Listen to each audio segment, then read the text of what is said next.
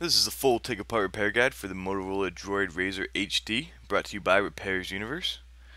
To perform this repair, we're going to use a few tools, including the Safe Open Pry tool, the Torx T5 screwdriver, Torx T3 screwdriver, and if we're replacing the screen assembly, we're going to suggest using fresh adhesive strips. To begin the repair, we're going to make sure the device is fully powered off. Then we're going to use a SIM card removal tool or a paper clip to press a small hole the SIM card tray and remove it. On the bottom of the device here, we're going to have two Torx T5 screws that we're going to need to remove. Once that's done, we can then shimmy the screen assembly forward, as you can see here. This will release the clips. You want to be very careful though, as it's, the screen assembly is still going to be attached with two jawbone connectors. One on the top here and one on the bottom. We're just going to get our pry tool underneath here. We're just going to shimmy this down a little bit more so we have a little bit more room. Just going to release this tab and then slide out the flex cable. I'm going to do the same thing here with the, the bottom. Just going to get a pry tool underneath, release that black tab, just gently lifting it up. That will allow us to slide the flex cable right out of the connection. Once both the connections are released, we are then able to safely separate the motherboard assembly here on the left and the screen assembly here on the right.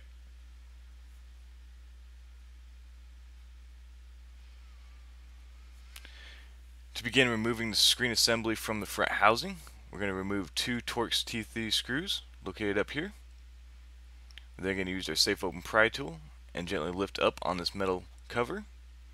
It should just be held in place with a few clips and the screws. So once those are removed, it should pop out very easily. We're now going to gently release this flex cable located on the top here. This is going to include the ear speaker, the front camera, and the proximity sensor. So it's going to gently lift up. It's going to be held in place with just a little bit of adhesive.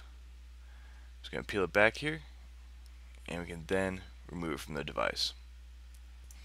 If you're looking just to replace this front camera, all we'll need to do is release this jaw connector and replace the front camera. But back to the screen assembly here, we're going to use our heat gun or hair dryer. We're just going to begin warming the top here of the screen assembly. We're going to use a medium heat, a couple inches away from the device, and this is just going to help release that adhesive, make it much more malleable. So we're going to use a pry tool to gently lift the screen assembly out. We're also going to focus a little bit of heat down here on the flex cables, and then onto the front. It should take about 45 seconds to thoroughly heat the device.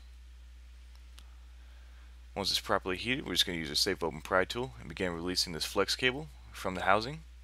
It's held on with pretty strong adhesive, so just continue working your way around. As you can see, we're just going to lift up and continue working our way around here.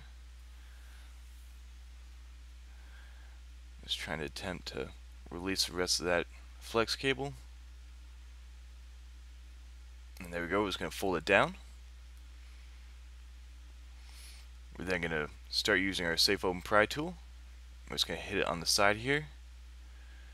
The adhesive is not very strong holding the screen assembly in place, so it should be pretty simple to either get in up here near the speaker assembly or on the sides. You want to be very careful though not to damage the front housing. We're just going to slide our pry tool along the sides here, releasing all that adhesive. This process does take some time, so just slowly work your way around. Be sure to reheat the screen assembly if the adhesive begins to get too strong. As you can see, this adhesive is coming off quite nicely on this screen assembly.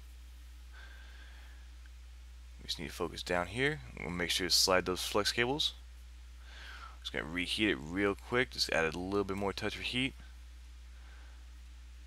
Majority of the adhesive is on the top and bottom, so focus your heat there. As you can see with that added heat, that adhesive just cuts through just like butter.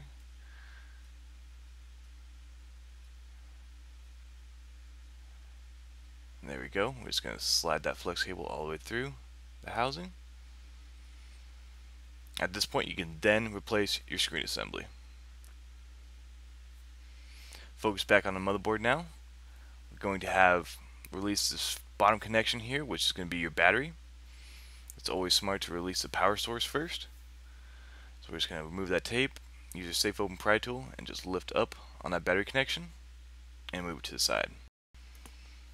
Now the battery's fully disconnected, we're going to use our Torx T5 screwdriver and release the 10 T5 screws located throughout the motherboard, as shown in that diagram to the left.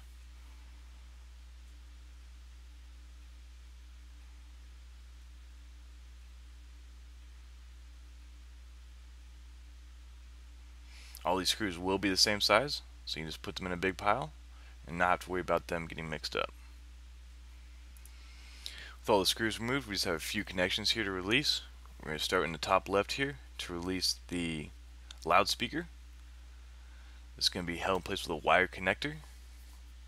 But first we're going to have to remove this small piece of plastic cover. From there I'm going to try to use my safe open pry tool to lift up on the connection. I was just too small so I'm just going to use my flathead screwdriver and lift the connection out. There we go. So I'm back to my safe open pry tool. I'm going to remove that casing right there and lift up on the main camera. Top here, I'm just going to release that cable. And there we go. The motherboard can now safely be removed.